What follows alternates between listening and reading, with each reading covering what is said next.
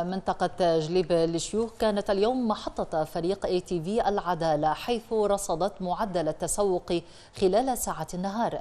وراسلنا خالد الفارس والتقرير التالي. على عكس ما حصل في الأشهر السابقة عندما تم فرض حظر تجول لم تسجل المناطق المأهولة بالسكان من المواطنين والمقيمين وجود تزاحم على مراكز شراء السلع الاستهلاكية. فقد قام فريق أخبار اي تي في العدالة بجولة في منطقة جليب للشوخ لرصد حركة الشراء في المنطقة حيث لم يلاحظ وجود ازدحام في الجمعية التعاونية للمنطقة أو فرع الغاز وحتى فرع توزيع المواد التموينية. كان عندنا استعداد قبل شهر تقريبا كان متوقع الحظر الجزئي أو الكلي فكان الاستعداد موجود باجتماع مجلس الإدارة وتم اتخاذ الإجراءات ومخاطبة الجهات المعنية. خاطبنا شركة المطاحن الدقيق ووفرنا جميع الاحتياجات آه، اللي تحتاجها السوق المركزي والفروع. وحددنا الدوامات اللي نستقبل فيها المواطنين ومتوافقة طبعا مع الحظر. والآن إحنا يعني نفتح من الساعة تقريبا 7 صبح ونسكر الساعة 5 وبعدين يبدأ توصيل الطلبات عن طريق آه، الأونلاين. لله الحمد ما واجهتنا مثل ما أنت شايف أي مشاكل لأن كنا عاملين كامل الاستعدادات للوضع آه، الراهن. الزحمه مو حيل.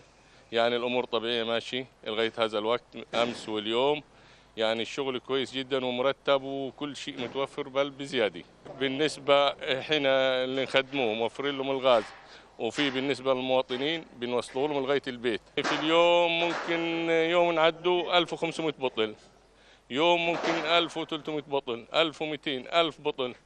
إضافة إلى توفير ما يحتاجه المستهلك قامت الجمعيات التعاونية بإضافة الخدمات للأهالي أثناء فترة الحظر الجزئي كي لا يضطروا للخروج. وفرنا سيارتين حق الغاز ومتواجهة للمواطنين والمقيمين.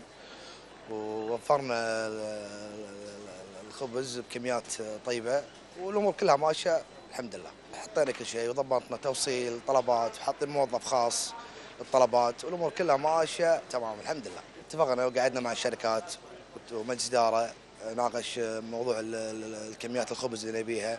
وفرناه بكميات طيبة والأمور كلها مرتبة والحمد لله في نقص ولا في شيء والأمور كلها ماشية صح. الحمد لله بخدمة التوصيل ما يعني الحمد لله ماشي الحال. ما فيش يعني ضغط اللي أنت يعني اللي الناس حساه الوضع مرتاح يعني والأعضاء الجمعية ورئيس مجلس الإدارة قائمين على كل حاجة يعني. أنا امبارح وأنا قاعد نوزع بالمنطقة وراي عضو يلف في في المنطقة يشوف أنا شغال إزاي وبنعمل إيه.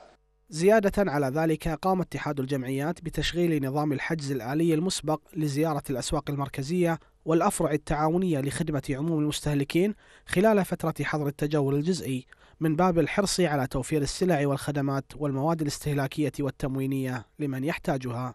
تعتبر منطقة جليب الشيوخ من أكثر المناطق كثافة سكانية في الكويت حيث يفوق عدد سكانها 330 ألف نسمة. وعلى الرغم من هذه الكثافة السكانية في هذه المنطقة فقد تم توفير كافة السلع والخدمات التي يحتاجها الساكنون في هذه المنطقة مع بدء تطبيق قرار الحظر الجزئي في البلاد. من منطقة جليب الشيوخ لقناة اي تي في العدالة خالد الفارس.